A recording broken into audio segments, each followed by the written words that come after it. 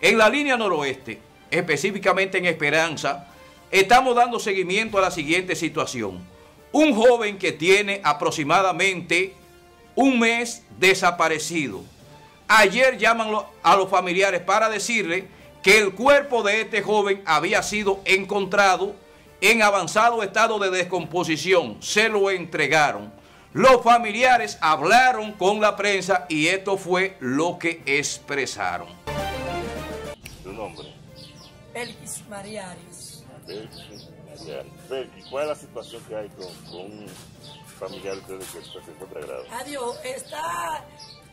Cuando fuimos al hospital que lo habían traído. ¿Lo ¿Qué fue lo que pasó?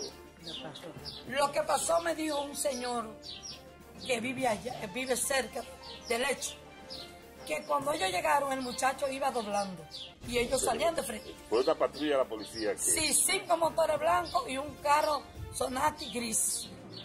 Andaban, eran todos Andaban todos militares. Habían casi 17. Entonces, dio el hirieron su sobrino. Exacto. Le dieron un balazo y después le dieron otro y dijeron que nadie se, acercara. Porque, eh, ellos dijeron, nadie se acerque aquí. Nadie, porque lo mato. Ellos estaban aburridos ese día. Mucha gente dieron. Entonces partieron el cristal, le dieron. Y cuando le, lo tenían, le dieron otra vez. ¿Tu sobrino venía en un carro? Sí, un carro. Los dos balazos que le dieron en la cabeza. En la cabeza, los dos. ¿Y cómo se encuentra tu pariente ahora mismo? Muy mal. Está muy grave. Está grave, está la vida Y le roban, le roban dinero. Había dinero también, tenía dinero en los bolsillos también.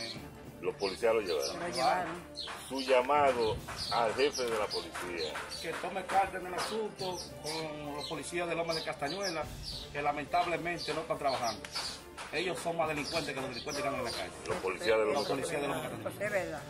Entonces, eh, ellos andaban policía de Castañuela con ustedes. Los de Loma tienen que andar porque ellos son los, encargados de Loma, entiendo yo. ¿Y qué respuesta le dan los policías de aquí a ustedes? Nada no dan los familiares. No nada. nada.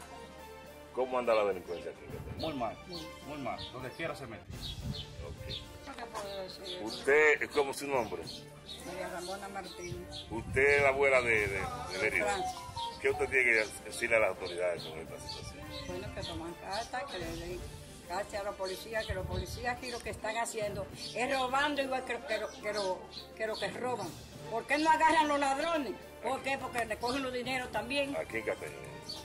El hombre Castaño, y aquí, aquí no agarran ningún ladrón. Eh, ahí que van yo a decir lo que buscan es el dinero. Eso es lo que yo buscan. Entonces, su, nieto se encuentra entre la vida la muerte.